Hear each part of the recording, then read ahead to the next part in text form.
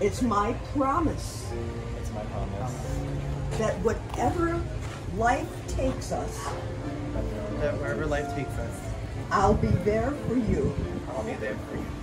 wholeheartedly. As God and our friends are my witness. Jon and Corey, I pronounce you husband and husband. You may kiss your groom, sealing the union.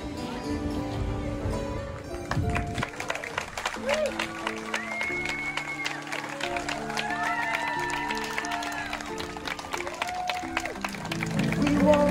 in love our. We love the day that was so bright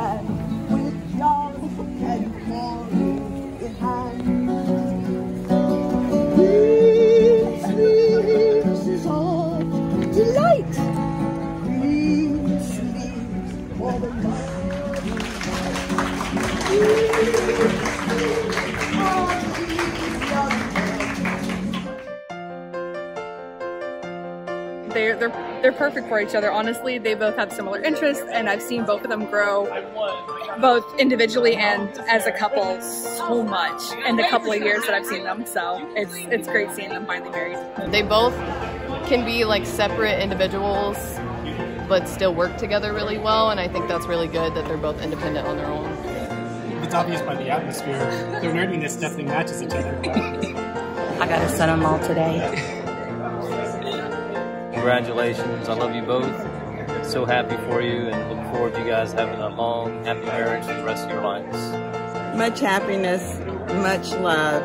Take care of each other, and y'all will have a wonderful life together. And I know there will be some disappointments, but you know what? They're just temporary.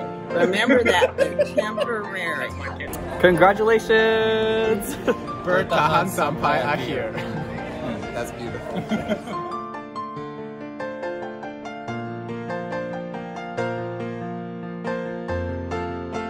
I mean, I knew the first year that I met him that I wanted to be with him forever. He is the only person that was there for me ever. No one else did it for me. Corey did it for me. Does he still give you butterflies? Yes, especially what, he, what he's wearing right now. He goes all out, and with everything he does, he goes all out. It shows he cares about like the small things. Are you excited to spend the rest of your life with him? Yes, Wonderful. of course.